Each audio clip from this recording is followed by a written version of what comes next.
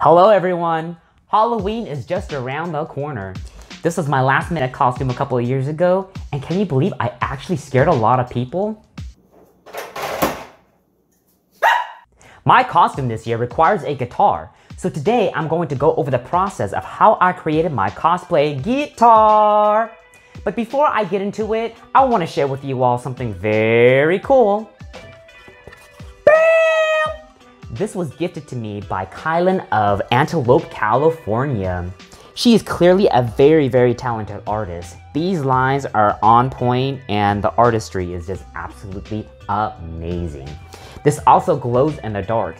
I love things that glow in the dark. Thank you for this, Kylan. You are amazing. I'm gonna hang this on my wall.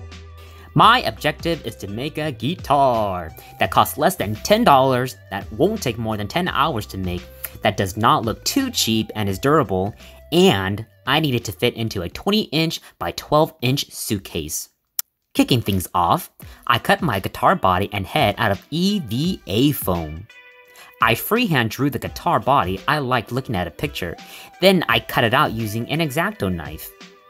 Usually I use a box cutter, but I couldn't find mine. Then I did the same with the guitar head, making minor tweaks for my own liking. My next step is to smooth out the edges using my Dremel tool. I follow the sanding rules of low grit to higher grit to ensure I get a smooth edge. Next up, I seal it up with plastic dip. Plastic dip is actually used for cars, like to color the rims, but it works very well for sealing EVA foam. Then comes the spray paint when the sealing is finished.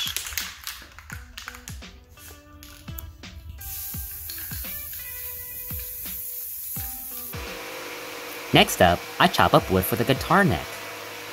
I looked at a picture and eyeballed how long the neck should be. Then I sand down the edges and the surface to prepare it for painting. Priming isn't truly necessary, but for a good even finish, Everything should be primed first before painting.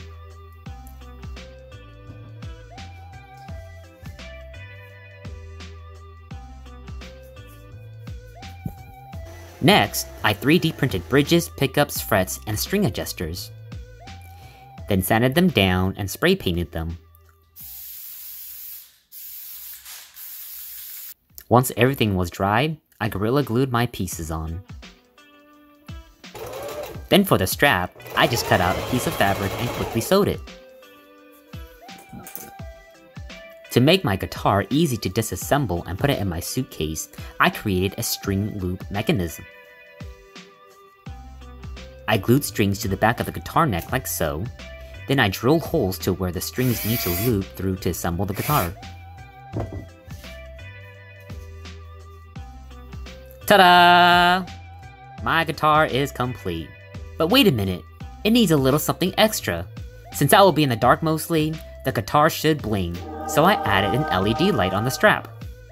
Alright, so it took me about 10 hours to make this, $9 in material, and the quality of this, it's decent enough, and most importantly, I can break this down to put in my suitcase. I would say overall, mission accomplished.